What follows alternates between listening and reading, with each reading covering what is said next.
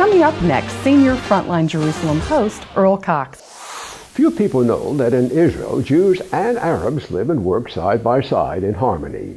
Many Arabs have Israeli citizenship and are happy to remain under Israeli rule. Israeli Arabs enjoy all the same benefits as Jews, including social welfare, quality medical care, educational quality, and equal opportunity status. The Arabs and Jews live together, and they share all the same legal rights without prejudice. So, contrary to what many would have you to believe, Israel is not an apartheid state.